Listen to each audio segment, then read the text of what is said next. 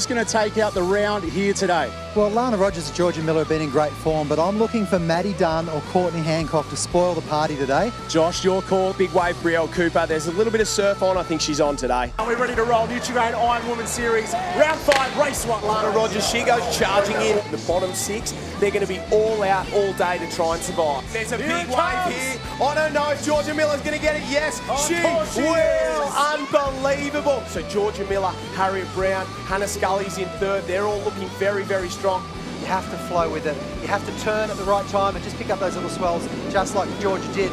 Here comes the chase pack. And as they go round, we take a look. Harriet Brown on the inside, Lizzie Welborn, Georgia Miller. Our leaders look super comfortable. So Miller in one. Harriet Brown will go round in two. It's really tricky out there. It's going to be a lot of luck today. In the starter's hands now here for race number two, Nutri-Grain Iron Women, we're away. For Lizzie Welborn, Georgia Miller, Harriet Brown in one, two, three. They are going at it. Look at this. Oh, on the, the right girls. side. When we're swimming on the beach, we say avoid the rip, but these girls are straight in it because it's the fastest way out. Lana Rogers, Taylor Halliday going around as more. So up goes Miller. Round goes Welborn. So does Lana Rogers. But how good has Georgia Miller been today? Yeah, unbelievable so far. The girls are set. Ski, swim, board is the order. Off and away for the final time. Harriet Brown in one on the yellow ski. Georgia Miller on her inside. The series champion pace is really picking up.